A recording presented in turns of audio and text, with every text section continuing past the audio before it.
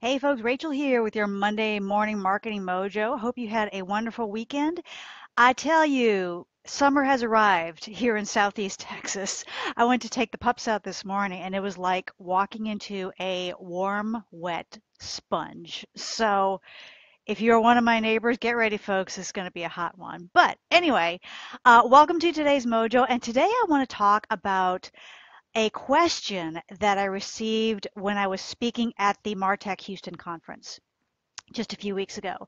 I was speaking with a lady who owns a staffing company that serves a particular industry. It's a it's a niche staffing company that serves this particular industry. And she says, you know, I had talked about podcasting and video, and she said, I see the benefit. What can I possibly say in this content that I'm going to create that hasn't already been said?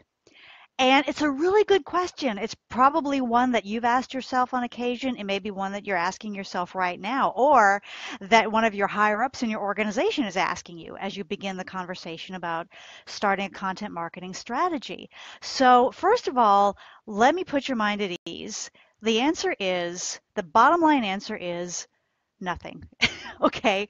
There really is nothing new under the sun. And if you don't believe me, go to Amazon.com right now and look up any particular topic. Look up personal finances or relationships or career or starting a business.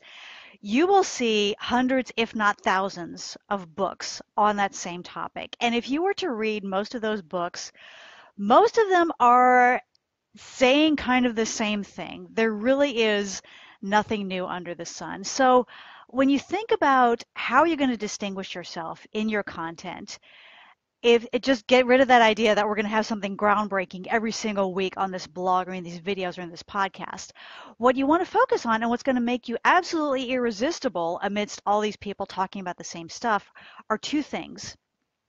Number one, perspective, and number two, presentation. So let's talk about both of these. And I want to give you another example. A few months ago, I decided I was going to learn how to play the guitar. And actually, I'm going to be podcasting about this later this week. So if you want to hear more about that, check out the podcast. But as I started, I got my guitar, got all my setup done. I started looking online at teachers who I wanted to um, connect with to teach me guitar. And there are thousands of guitar teachers. Look on YouTube, do a Google search, you will find thousands of them. Now, if you think about it, the guitar is the guitar. Okay, it's got strings, it's got frets.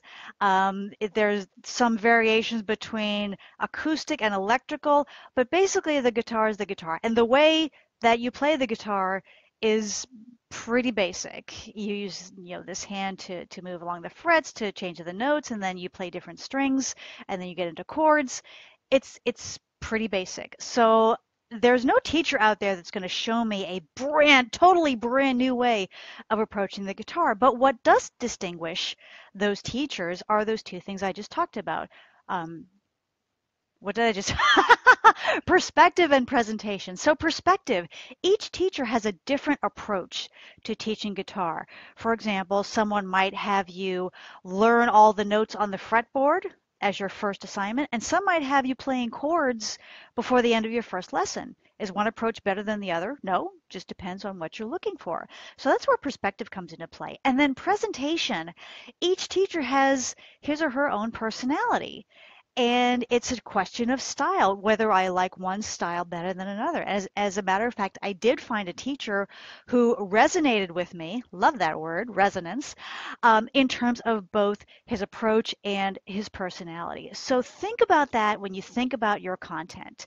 How am i going to distinguish myself through my perspective and through my presentation? And if you really focus on those and create um, an approach that is really unique and that is really you and that is going to resonate with people, I promise you, you will build an audience through that content that you're putting out every single week. So that is it for today's Mojo. And if you want to learn more about creating an irresistible mojo of your own that's going to help you build an audience, I recommend that you pick up your own copy of the Content Marketing Coach, Everything You Need to Get in the Game and Win.